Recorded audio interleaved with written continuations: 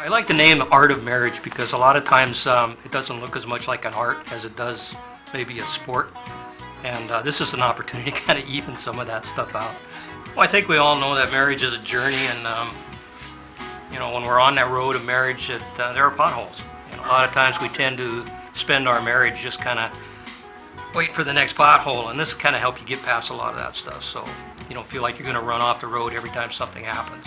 A lot of times people will go to the, the things and they'll watch the, these kind of conferences and they'll watch two or three of the sessions and they'll think, you know, none of this stuff applies to me, you know, but five minutes into it, the person next to you busts out crying, you know, and they're like, honey, it's you. And then they kind of get the idea that, you know, it, it's going to get you somewhere. Part of it is going to affect you. So even if you go and you watch a couple of them and they haven't got you yet, they will. So just hang in there and, and get what's available and enjoy and have fun. For Pete and I, um, when we got married, I had a lot of misconceptions about marriage, um, fairy tale expectations. Um, it's all about me perspective, I guess you could say. And um, it wasn't until I asked God to show me what He wanted to change in me that things began to change in our marriage. We're all going to have um, challenges in our marriages, differences about finances and about children. Um, but when I had that godly perspective in my heart, I was able to approach those differences um, differently, that I could be respectful and honoring to Pete, even when we disagreed. We were able to learn that the most important thing in marriage is our personal relationship with the Lord. And, and um, it is all for His glory.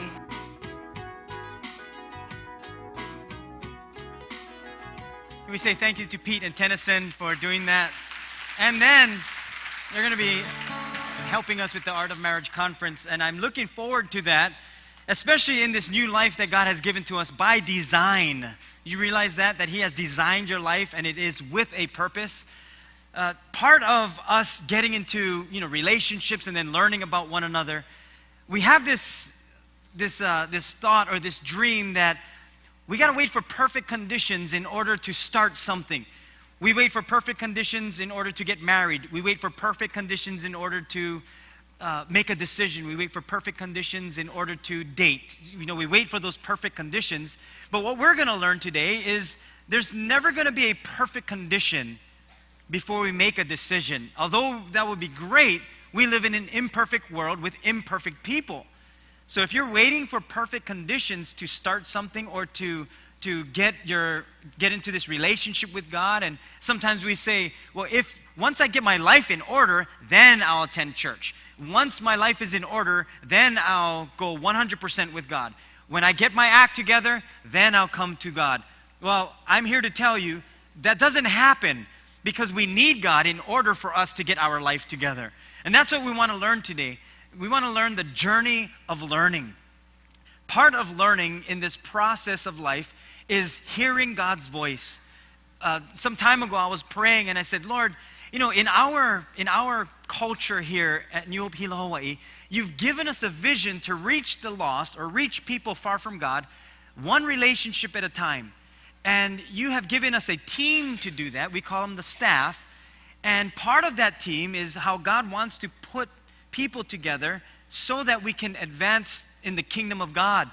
So I would pray and I would say, Lord, then this is your church, this is your team, this is your staff. You do this. You put that team together so that we can accomplish what you're asking of us. So I prayed and I said, Lord, there's, a, there's an area here uh, on our team, on staff, uh, in our church that, that I, I think needs to, uh, we, we got to do something to get us to that place where you want us to be. So you show me that person. And so I prayed, and God sent someone, and they volunteered for over a year in that specific position. And I was, I'm, I was so thankful. I said, God, thank you for sending that person. But then the Lord wanted to expand, and He wants to expand us, and He wants to take us to another growth area and another area to reach out to more people. And one of those areas is uh, what we call online giving. Online giving is where anyone around the world can give to the cause of God here at this church. And for many of you, you don't carry, you know, checks or cash. So when it's time to tithe, you don't know what to do. And so we are actually hindering a lot of people from wanting to give to the Lord. So in this one specific area, I said, then Lord, you have to show me this person. And so he did, and I prayed. And then I gave it to our elders and our council members to pray about this one person to join our staff team. And I said, What do you guys think? Pray about it and you let me know. And so they all came back thumbs up. And so the person that I asked to come on staff is Tanya Fong. And so I asked her to pray and her husband Richard. And they said, Yes, the Lord said to follow him and obey him. And so they're going to be uh, coming aboard. And so I thought, wait a minute. One of the things that I wanted to do is to make sure that because this person is a family member with one of uh, the people on staff, there may be the perception of nepotism. So I took it to the Lord and I said, Lord, you know, I, I believe we heard you about this person, about Tanya, but what about nepotism or people thinking this person is hired because of family? And Jesus quickly said, I dealt with the same thing.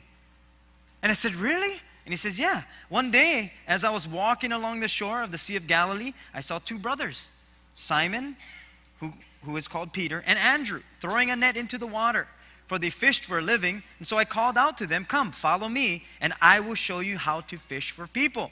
And they left their nets at once and followed me. Then a little farther up the shore, I saw two other brothers, James and John, sitting in a boat with their father Zebedee, repairing their nets. And I called to them, Come follow me too. And they immediately followed me, leaving the boat and their father behind. And so, did you know the first four disciples of Christ were family members? And then later on, Jesus brought me to another scripture in Matthew 20, verse 20. He says, You know, I also dealt with James and John's mother, where she came to me and she said, You know, Jesus, can you have James and John sit on the right and left of you when you come into your kingdom? And Jesus said, Well, uh, do you know what you're asking? Are, are they able to drink from the cup that I'm about to drink from? And James and John said, Yep, we can. We are. We, we can do this. Not knowing what Christ was going to do. But Jesus dealt with that too. He dealt with family being on his team. And then he said, Sheldon, first of all, it's not your fault that they're family, nor is it Tanya's fault that she has family on staff. Neither is it the person on staff who is family. I created them to be family, not you, and I chose them, not you. And I thought, okay, God, then it's in your hands. I'll leave it up to you. So Tanya Fong will be our resource director assistant. And I just wanted to introduce you to her this morning and her to you. So, Tanya, if you could come up this morning, thank you so much. And we're going to pray over her. That's a big responsibility. And, she, and she'll be part time. But um, Tanya is just a God sent, and she's been volunteering in that position for over a year but we want to expand it. Oh, look at that, a little gift. Thank you, Aiden. Thank you very much. and so, so we're going to pray for. If you just stretch a hand forward and we're going to pray, Lord, we thank you for Tanya and Richard and the life that you have blessed us with. We pray for the future that you have, not just for the two of them, but for this church. You own this church. You're the head of this church. And so, what you say, we want to be obedient to you. Help us in this situation that as we continue to move forward and expand, that you would give us the vision and direction in the future that you see for all of us. We trust in you, Lord. We thank you and we, we praise you for this season of our life together with Tanya and Richard and with the body of Christ. We trust in you, Lord. In Jesus' name we pray. And we all said, Amen. Can we say thank you to Tanya? Thank you, thank you, thank you. And welcome. Yeah. So you can congratulate her afterwards. And so let's jump into our message this morning. You can take out your bulletin and your notes. And we're going to be talking about this journey of learning. How many of you are learning right now? You're still learning in your life. You're learning some things. Yeah, good. Some of you that are not learning, good for you. We, I think we, we're all learning, and, and we have this assumption that we have to have the perfect conditions before we start something. But the journey of learning says when you start, you'll learn the best way as you go. Because that's how many of us learn. It's like our children, you know, when our children were growing up and they became of age, we said, okay, now you're an adult. But if you're still living here, you can still make your own choices. This was in our house. You can still make your own choices, but just let us know where you are. Because if you're coming home, or you don't tell us what time you're coming home, uh, and you're coming home at 4 o'clock in the morning, I need to know. Because as the man of the house, when you hear someone just kind of creeping in the house, either it's a burglar or it's going to be your children. So I told my kids, if you don't like get lickings in the dark, thinking it, I'm thinking it's a burglar, and then let me know what time you're coming home. So there's a responsibility when it comes to the journey of learning. And so as our kids grow up, they learn that responsibility too. And just like us with God, we learn that responsibility with God. We're all in this journey together of learning. Our, our home that we moved into, when we first moved into it, we could have said, well, we need to, we need to learn everything about the house before we move in. What light switches turn on what lights, what circuit breakers turn off what outlet. We need to know what room is going to be whose before we move in. What the paints will look like, uh, what kind of carpeting, how we're going to decorate inside. We need to know, know all of that first before we move in.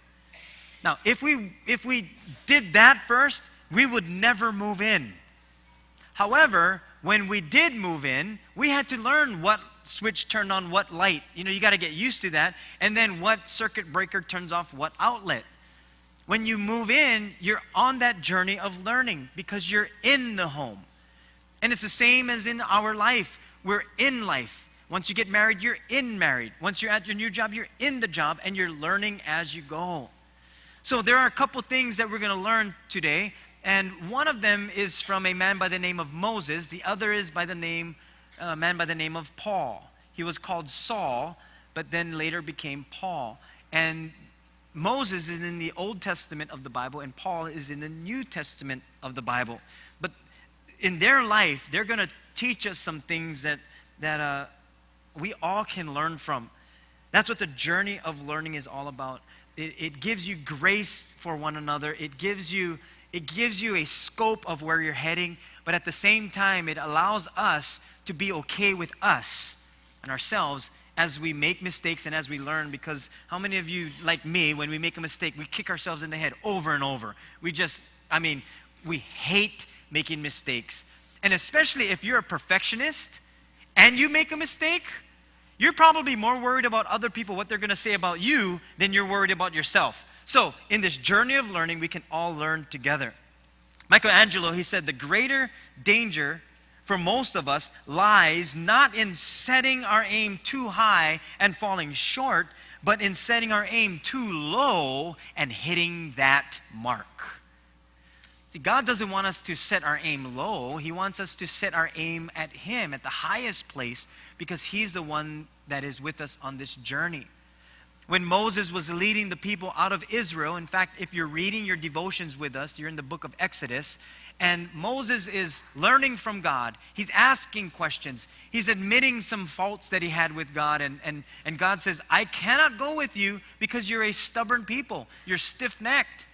And so the people are learning this from Moses. They're watching him meet with God and, and he giving them instructions, and then they uh, learning from God and, and following God as best as they can. And God is saying, I can't go with you because you're stiff necked people. You're hard headed. You're not listening. So if I were to go up in your midst, I'm going to destroy you because you're unchangeable. And so Moses is telling the people, hey, guys, God is leading us, but we're stiff necked. And God says, if I go with you, it'll kill you. Because I am a God who has created your life by design. And if you're not willing to change, then I can't go with you. And so Moses and the people had to deal with it. You know, on this journey of learning with God, especially, it takes a relationship to learn. It takes a relationship to, to get better and better and better at learning. Because it's in the relationship that you get to know one another. Heidi and I, we've been married for over 21 years, and been together for about 28. So, the other night, for our date night, I said, um, Heidi, for our dinner tonight, you order me whatever you think I want.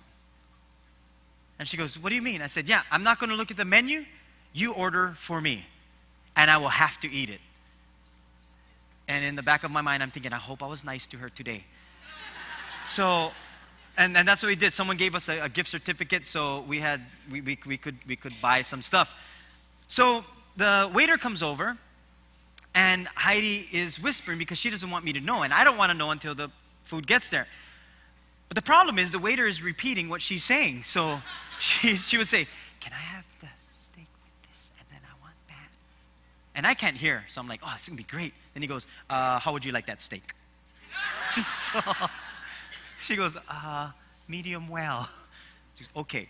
And then she orders some other things. And then when the food came, she got me uh, clam chowder, which I love. Clam chowder with steak and lobster. I never order steak and lobster because I feel I don't deserve steak and lobster. So she said, You deserve this. And I'm thinking, oh, you the best. You is the best. You is the nuclear bomb. So I was so happy. And I thought, that's the journey of learning. But not only did Heidi know what I love to eat, she knew what I did not want to eat. I mean, she went through the menu and she eliminated nope, nope, nope, nope, yes. See, on this journey of learning, not only will you learn from God instructions and what to do and how to live this new life, you're going to learn what not to do because that is just as important as what to do in this life with God. On the way home, uh, as we're, we're coming to our house, as I'm driving down our road, it's nighttime, but I see this, it looks like a huge cat and I'm thinking, wow, that cat's not even moving. Usually, cats, once they see a car, they move. And it's on the side of the road. Come to find out, it's a rabbit. So I'm thinking, wait, rabbits don't just cruise around in Hawaii. It's not like mongoose. You know, mongoose are everywhere. They run, they stop, check you out, and then they leave. But this is a rabbit. It's on the side of the road. So I'm thinking that has to be someone's rabbit. Maybe they're going to post a lost, you know, sign. So I said, you know, Heidi, I'm going to go catch it, and then maybe we can hold it, and maybe someone would say lost and found. So I get outside, and as I'm approaching the rabbit, it doesn't move at all. And I'm thinking, oh, okay, wait a minute. I remember seeing a like a movie or something with a rabbit going crazy on some kids, and so it was kind of dangerous. And then I'm thinking, does it have rabies? Do rabbits have rabies? And I'm thinking, does rabies mean rabbit in Spanish? I don't know. So I don't know. I, am trying to deal with this. And so I, I go to touch the rabbit, and it bounces away. It, it runs away, and I'm like, you know what? I'm not going to go near that thing. So I come into the car and, and Heidi says, So what? I said, I ain't gonna, I ain't gonna catch it. What if it scratches me up and stuff like that? They have sharp claws, so I'm not gonna touch it. It went into the neighbor's yard and and so I'm thinking, you know, this doesn't look good as a man. Can't even catch a rabbit. So it goes into the neighbor's yard, and I said, So what, Heidi? You think I should catch it or not? trying to stay manly. And she says, No, it's in the neighbor's yard. I said, Yeah, it's in the neighbor's yard. You know, I would, I would grab them, but it's in the neighbor's yard, so maybe it's theirs. And so here's what I learned. Even on this journey of learning, there are going to be times where your past will catch up and will say, don't. Because you know what it's like. Or like me at this rabbit, I've seen a movie and I know what can happen. You may have heard of something that maybe from the Bible or maybe a friend that says, you know, don't, don't go that route, don't, don't go that direction because it'll turn out bad. Or that is a great decision because that's the Lord's direction. And this journey of learning, very rarely will we get things right. Very rarely. But when we do, we celebrate. But very rarely will we get these things right. So, what do we do? Because most of us, we want to say, Lord, I want to hear your voice. I want to know what you're asking of me in this new life that you've given to me. You've designed my life. What are you saying? Uh, some time ago, someone came up to me and they said, You know, I, I prayed to the Lord that, that uh, if I should do this, and He said, Yes, this is what you are to do, but it's not turning out how I planned and how I thought it was going to be. Did I not hear the Lord? Maybe it wasn't the Lord. And I said, You know, it may not be you trying to say, Was it you, God, or wasn't it you, God, based on your circumstances or your results. God is not a circumstance kind of God, He is a sovereign God. So, if you felt that that was the Lord and it turned out it wasn't, it has nothing to do with your decision, but more importantly, of you learning to hear God. That's what's important. Otherwise, if you just keep second guessing, oh, that's not, that's not, that's not, and you never start, move forward, make a decision, or take risks, we'll never learn God's voice. Because it's in that relationship that we get to learn God's voice. And in the beginning, even if God says, you know, this is what you are to do, but then you say, well, I don't think that's you, you will find out in the end more of what God's voice sounds like. That's why this is so incredibly important the Word of God. It's not called the Word of God for nothing, it's actually what He said, what He is still saying, and what He will say when we get into heaven. It's the same God, He never changes. So if you want to get to know God better, or know his voice better, get into his word. This is what he is saying. Sometimes we think, well, I can't get into the word of God, but I'll pray. You can do that and you can connect with God, but you also have other voices. You have your own voice, you have people's voices, you have your upbringing, you have coworkers, family members, and then the one that we really want to avoid, the devil's voice. He can whisper things into our ears. So we got to be cautious that we that we don't stray from the word of God. Otherwise, we won't get to know his voice and then this journey of learning actually stops because we can't learn anymore. And these two people, Moses and Paul, they, they teach us some things. And we're going to learn three key components in the journey of learning, which, when applied, has the potential to improve every area of life. Here's the first thing we can learn from Moses that's to admit our faults. You can write that in if you're taking notes. Admit my faults. Because there are some areas in our lives that we learn about what we would never learn about until we begin to admit our faults.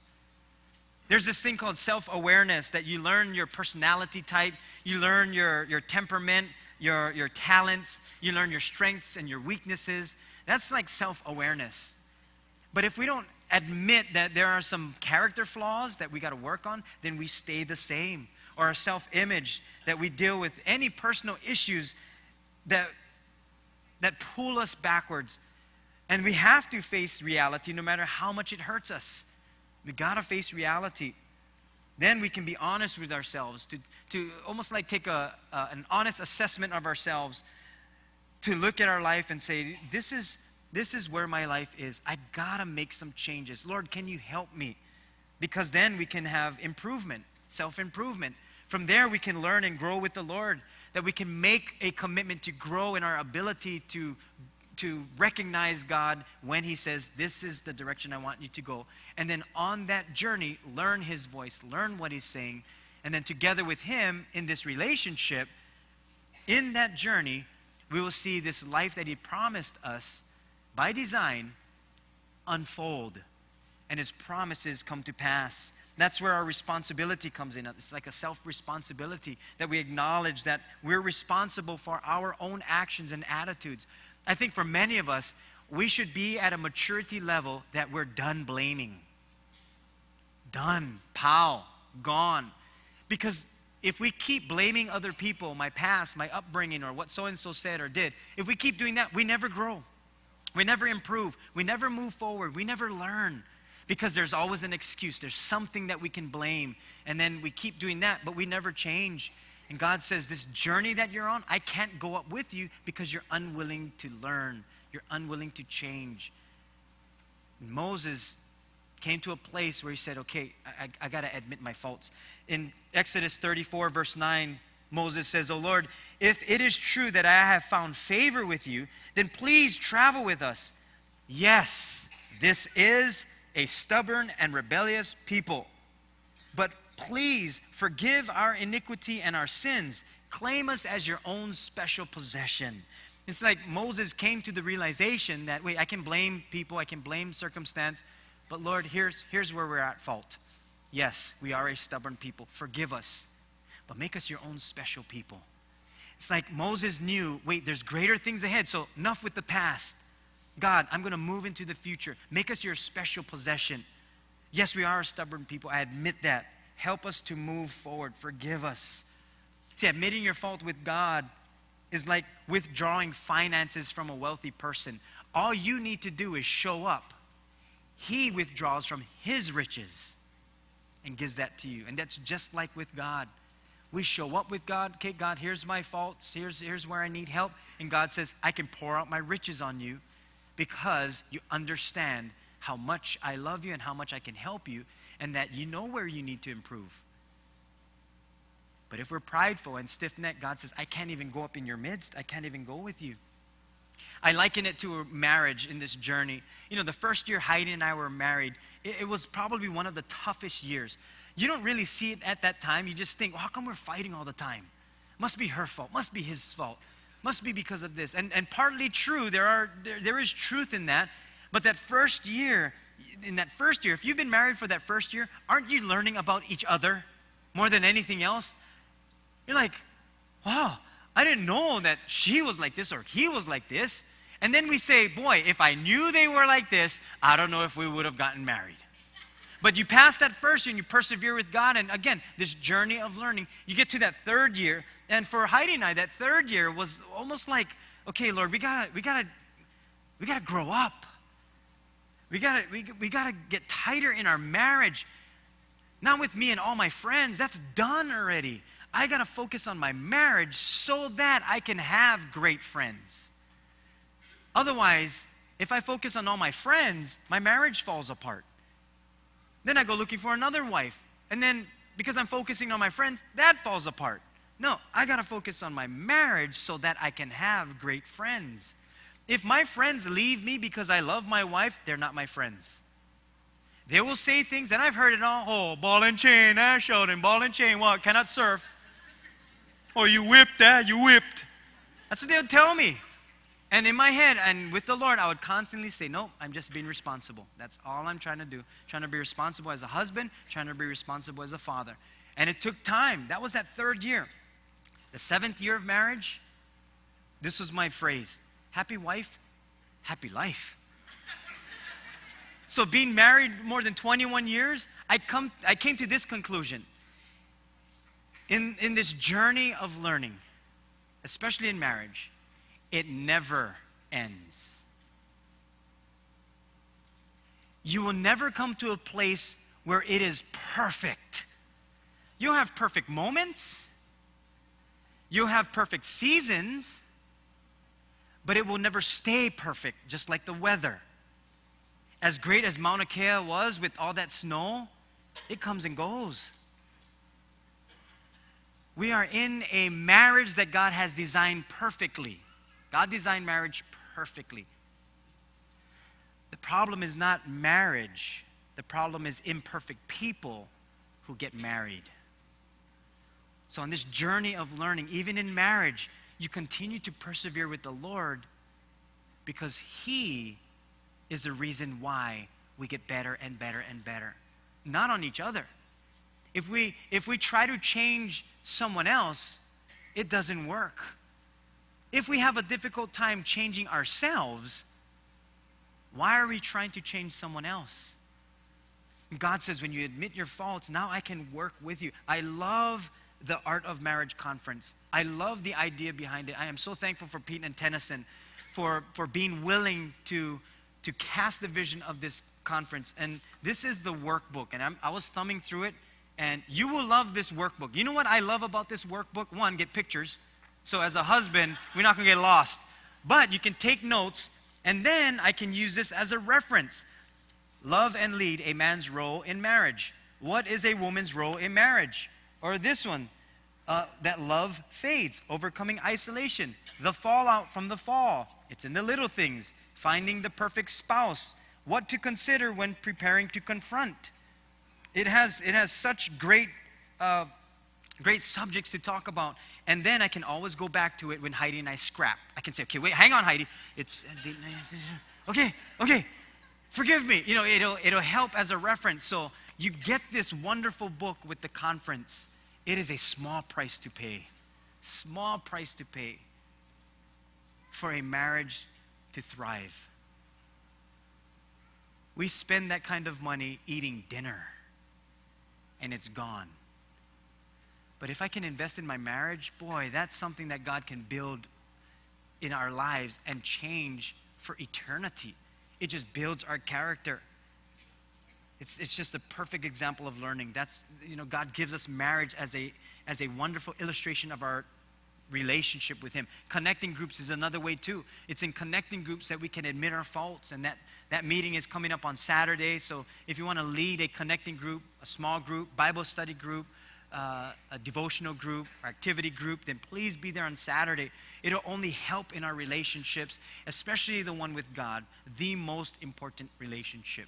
And it'll help with our faults. You know, it's, it's easier sometimes for someone else to tell us our faults than our spouse. That, that, is, that is fight all day. But if someone else can help keep us accountable, then it helps us to grow in this new life that God has given to us. So that, be willing to admit your faults. And then the second thing is to ask questions. Ask questions. But listen, make sure you're listening, not listen and then you wasn't paying attention and then ask the question that was addressed. It's asking the right questions and paying attention to what God is saying. Did you know that we, we were designed with an innate instinct to ask questions. Have you ever been a, around a five year old when you're doing something? Maybe you're fixing something. Uncle, what you doing? Oh, I, am I'm, I'm fixing this bike. What happened? Uh, it broke. How come? So and so, somebody was riding it and they, they, they got into an accident. Oh, what happened? Well, they fell. And is there, are they okay? Yeah, they're okay. So what are you doing? I'm, I'm fixing the bike. But what are you fixing? I'm fixing the paddle. After a while, you're like, you know what? Enough questions. Enough. But we're, we're created like that. We're created to ask questions. But that's what happens. At a certain point of life, we stop asking questions. We stop asking questions because to us, it, it, it's almost like if you ask questions, that means you're not smart. But asking questions doesn't mean you're not smart. Asking questions mean you still want to learn that you're willing to grow. You're willing to do the necessary things to get better. Moses asked questions. He, he, said, he said this to, to God in Exodus 33, verse 16 How will anyone know that you look favorably on me, on me and your people, if you don't go with us? For your presence among us sets your people and me apart from all other people on the earth. Moses continuously asked questions. That's the journey of learning that you're asking questions. When, when we went to conferences and when we would go to seminars, they would always have this one guy that would ask questions. And he'd be the first to ask questions. And in the beginning, I thought, how come you always ask questions? Well, you don't know. And then he would ask questions, and some questions I would think, what kind of question was that? What does that have to do with anything? then I thought, you know what? I'm not going to ask questions. I'll wait to the end so that I can really think through a good question so I sound smart. So I would wait to the end. The problem with that is because everybody else is asking questions, there was no more time for my question. So I'd have to go to the seminar speaker or the conference speaker to ask questions, but if there was a line, I would never get to them. So I never got to ask my question. My journey of learning taught me this be the first to ask questions. So when you ask the questions, don't just ask at random. While that person is speaking, write your question. And I'll just write question after question after question. And then they would say, Is there any questions? I'd be, Yep, I have seven. And sometimes they would say, Oh, I don't know if we have time for seven. I say, Well, I'll ask, and then you let me know when we're done. And I would ask my questions. But unless we ask questions, we won't know. We just won't know. When you ask questions, it helps with understanding the end result. Some time ago, uh, one of my friends had a jet ski and he had a, a wakeboard, or actually, it wasn't a wakeboard, it was like a, I guess, a wakeboard, like a smaller surfboard for jet skiing. And everybody's trying and trying and trying, but it was hard to get up. I don't know if you ever tried that. We're at Bayfront, and once the jet ski starts to go, I mean, it is pulling. So I'm watching everyone, I'm asking questions. So, how was it? Oh, man, it was hard. You know, you got to hold your legs, you got to pull tight, then you got to release. So, I'm asking everybody questions. And then the person who knows how to do this, I said, okay, what's the trick to this? He said, well, you see how they're not sitting down in the water? They're like getting ready to go? Don't do that. you got to sit for a while. And as he's pulling, you're going to feel the pull from the water and the tension, but you have to hang tight and then slowly make your way up and then hang on tight. Don't leave your arm out like this because you're going to fly forward. Hold it tight here so that there's slack. I said, okay, okay, okay, okay, okay, okay. Got it. And then it was my turn. And sure enough, everything he said, I applied, it worked. And we're flying it out toward the break wall. And I'm like, yeah! And then my legs started to burn. And I told the person on the jet ski, I said, hey, turn around. We got to go back in. My legs are burning. He said, oh, okay. So he turned around. And as we're coming in, I mean, we're flying it. We got to be going like 80 miles an hour, maybe somewhere around there. We almost went back in time. So I'm, I'm coming to the shore. And he said, okay, I'll go whip you around and you just go on the shore. I said, what? He said, I'm going to whip you around and then you're going to go on shore. I said, okay. And I'm thinking, wait, I didn't ask the guy, how do you get off? I asked, how do you get on? And so he does. He whips me around and go, here we go. And now when they whip you, you pick up speed. And everybody's on the, on the shore, yeah, clapping. I'm like, I'm not a pow yet. This is not the end. And I tumbled onto the shore, jumped up, and I was like, woo! I was hurt. I was hurt. But I didn't show it. And I was okay after that. And I thought, I should have asked him, how do I get off this thing? Because the water is like cement. If any of you ever fell from a jet ski, it is like cement. You just skip. And everybody on shore thinks it's fun. Oh, look, I'm skipping. No, they're bouncing. They're bouncing because it's like cement. That's the journey of learning when you ask questions. You're keeping the end in mind. You're not saying, you're not saying, okay, so what do I need to do, Lord, to get married? You're saying, Lord, what do I need to do to stay married? It's not how do I get the job, it's how do I stay hired? You're thinking of the end because in this journey of learning, it continues to go over and over again. You're con- continuously learning, it's constant. So you're not just thinking of the beginning. You're not saying, Lord, uh, so how do I tithe? It's, Lord, how do I develop the heart to continue to tithe? How do I do that? because you're thinking of the end in mind, not just the beginning of starting something. See, it's not perfect conditions that should give you the reason to start something, but that you start and then you learn from there. Luke 11 9, it says, and Jesus said, I, I tell you so. Keep on asking, and you will receive what you ask for. Keep on seeking, and you will find. Keep on knocking, and the door will be opened to you. We teach this principle to our children. You, you ask and you keep asking, but we tell them to ask properly. When they want a cookie, they don't just come up to you and say, I like one cookie. I mean, if they do, what do you say? Yeah, you can say, please. Or with us, I'm Papa, Heidi is Gigi. Gigi, can I have snacks? Gigi, can I have cookie, please? That's what we say. We say, ask properly. Well, that's what happens with us and God, us and this journey of life this journey of learning, even in our marriages. Sometimes we'll do something and then the next day we'll point fingers and say, you know, if you never say that, then I wouldn't have said this. Instead of asking the right question and saying, you know, when we, you know, yesterday, you know, I'm sorry about yesterday. What could have I said? What could have I done that might have helped? And then you learn from that. It also says in John 16 24, Jesus said, You haven't done this before. Ask using my name, and you will receive and you will have abundant joy. Try attaching the name of Jesus to what you're asking for or what you're asking about or before you ask and why you're asking. Just attach the name of Jesus. It changes everything. It changes everything. It changes why we ask, what we ask for, or, or, or even, even the thought of asking. Once I throw in the name of Jesus, it changes everything. 1 John 3 22, it says, And we will receive from him whatever we ask because we obey him and do the things that please him. See, when I attach the name of Jesus, once I put Jesus into the equation, then is my question to please him? And, and, my, and my decision, is it to please him? Or is it a selfish thing? Lord, how am I pleasing you in this decision? In this journey of learning, Lord, I want to please you. I like how Paul well, Saul at that time, he, the question that he gave to Jesus, and he later becomes Paul the Apostle in Acts 9 3 through 6.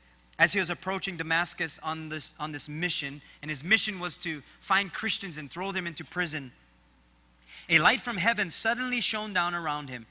He fell to the ground and he heard a voice saying to him, Saul, Saul, why are you persecuting me? And here's his question. He says, Who are you, Lord? Saul asked.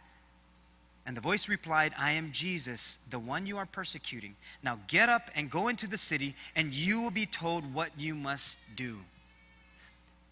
See, when you connect with Jesus and he becomes your Lord, like how Saul said, Who are you, Lord? It's like there was a shift, a change.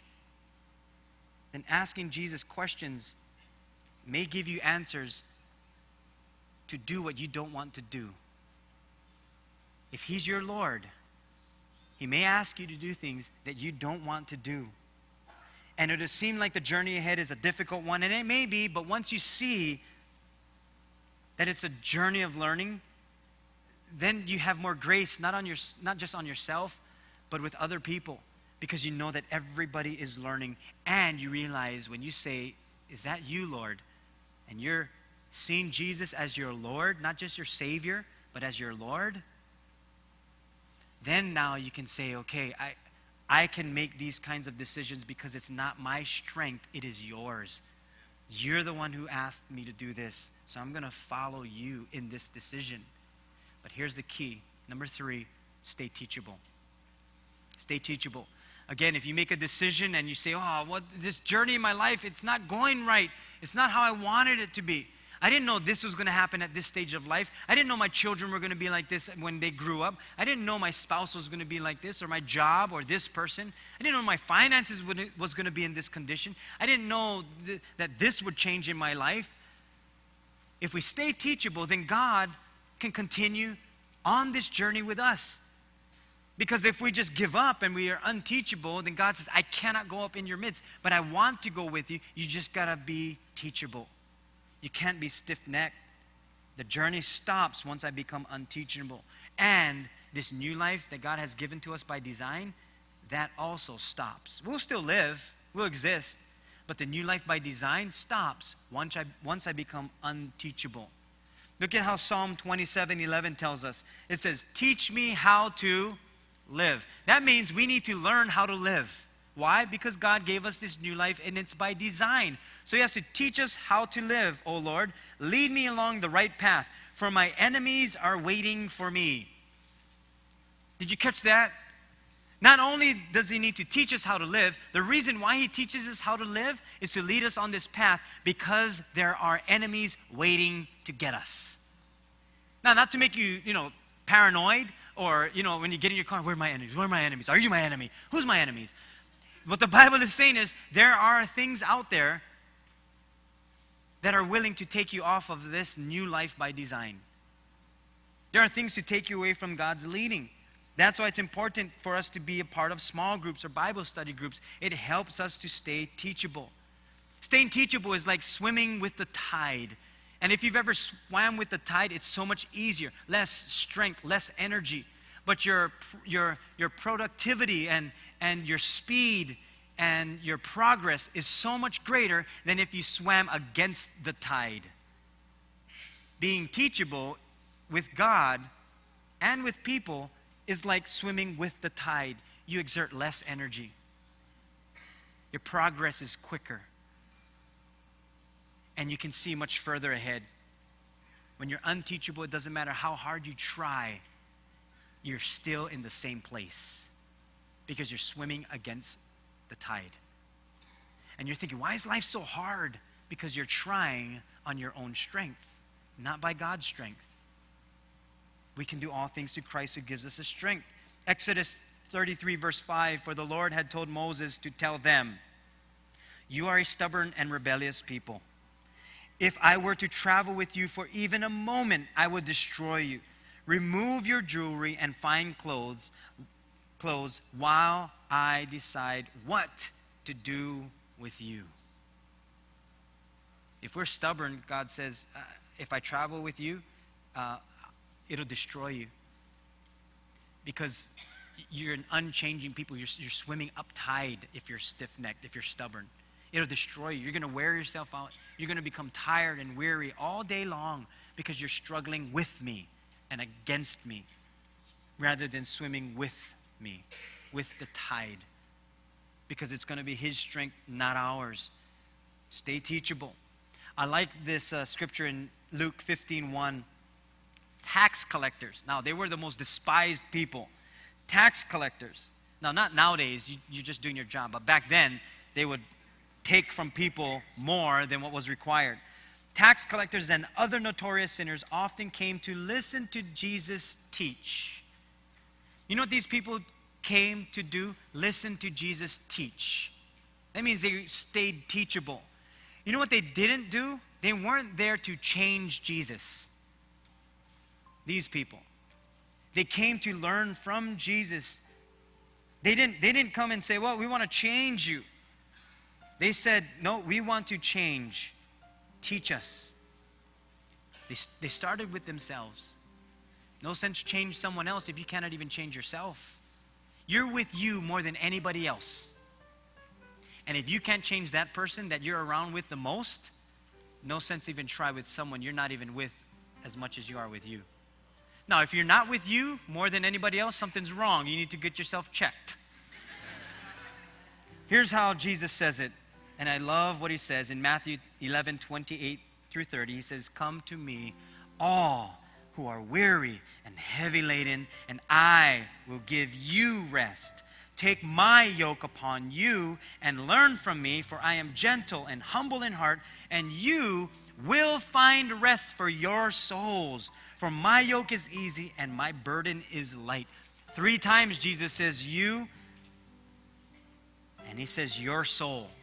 That all happens not from the journey of learning in life, that all happens from the journey of learning in Christ. That makes the difference. Some of you, and I'll, I'll close with this story. Some of you, uh, how many of you ever heard of um, Russell Wilson? Raise your hand. Russell Wilson. I know. He's, okay, he, he's the quarterback for the Seattle Seahawks. Uh, what about Kaepernick? You ever heard of him? Yeah, some of you are 49ers fans. What about Joe Montana? You heard of Joe Montana? Okay, how many of you heard of Joe Montana? Right. Um, what about Marshawn Lynch? Have you heard of Marshawn Lynch? Okay, many of us heard about him. Uh, what about Steve uh, Hauschka? Steve Hauschka. No? What? Okay, a couple of you know. Okay. Steve Hauschka is the kicker for the Seattle Seahawks. He is the reason why they are in the Super Bowl today. And here's why it's not because he kicked, he kicked the field goal, it's because he didn't kick a field goal. And here's what happened during the championship game where it was fourth down. And fourth down means that's the last down you're going to have in that series unless you make a first down again and then you repeat your series again. It was fourth down and seven yards to go, I believe. So when it's that far, but you're that close to kick a field goal, you go for the field goal but it was 50 something yards away. They lined up for this field goal, and Steve Hauschka came to the where he was going to kick. And then he ran off the field because they called a timeout, and he went to his coach, Pete Carroll, and he says, Coach, let's not kick it. He says, Why? He said, Because the wind conditions are not right. And the coach trusted him. And so the coach said, okay, let's go for it on fourth down. And they made that touchdown, ended up winning the game. That's why they're in the Super Bowl. And I thought, this guy, this field goal kicker, nobody really gave him, gave him credit. Nobody knew what took place on the sideline. Nobody really is patting him on the back. They're going to Marshawn Lynch and say, great touchdown. They're going to the wide receivers and the quarterback. But it's because of that kicker with his journey of learning, wind condition knew that that ball would not go through the uprights. He knew. And he made the decision. And I thought, you know, in this journey of learning with Christ, not too many people are going to come to you and pat you on the back and say, Oh, great decision. Oh, you're a great dad. You're a great father. You're a great mother. You're, you're a great wife. You're, you're a great child. Oh, way to go. Very rarely will people do that. But God will. God will do that. He says, My reward is with me. I will reward you. See, we may not have perfect conditions, but we have a perfect God. And that's all the condition we need. It's God. Would you pray with me? We bow our heads. Lord, we thank you for this day that you have given to us as a gift.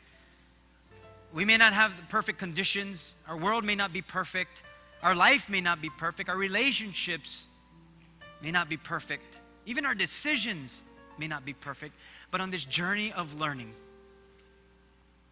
you're perfect. And that's all the conditions we need. Help us, Lord, in our admission of faults. And it's not to put ourselves down, it's so that we can learn and grow in those areas. That we would recognize our need for you. That we would ask you the right questions and one another so that we can get better, not to point fault, and that we would stay teachable. Because when we stay teachable, we can continue on this journey, not just with you, but with other people. We thank you for this new life that you have given to us. It is by design, Lord.